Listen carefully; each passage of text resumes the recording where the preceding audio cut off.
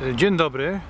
Sprzed pomnika wdzięczności dla Armii Radzieckiej przy Alei Jana Pawła II, Piotr Moskwa. Dzień 14 wrzesień 2017 roku. Proszę Państwa, dnia dokładnie 17 września pod tym pomnikiem odbędzie się zgromadzenie w godzinach od 15 do godziny 19 poświęcone napaści stalinowskiej Rosji na Polskę.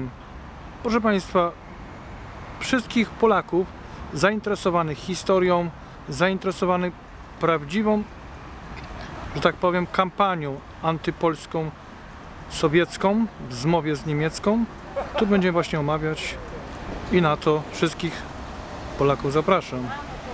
Proszę Państwa, y, w dniu tym będziemy mówili bardzo dużo.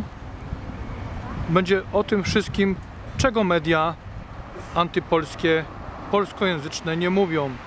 Kochani, na dzień 17 września zapraszam Was z całej Polski, weteranów II wojny światowej, żołnierzy Armii Krajowej, żołnierzy wyklętych, patriotów i rodziny tych wszystkich, którzy brali udział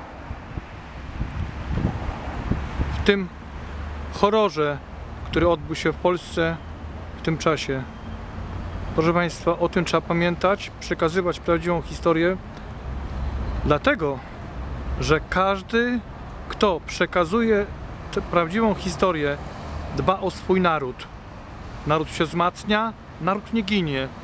I my z obowiązku, Polacy, musimy działać w tym zakresie zawsze swoim dzieciom i wnukom przekazywać prawdę. Podsumowując, zapraszam Was wszystkich serdecznie na zgromadzenie. Ze Szczecina pozdrawiam wszystkich w całej Polsce.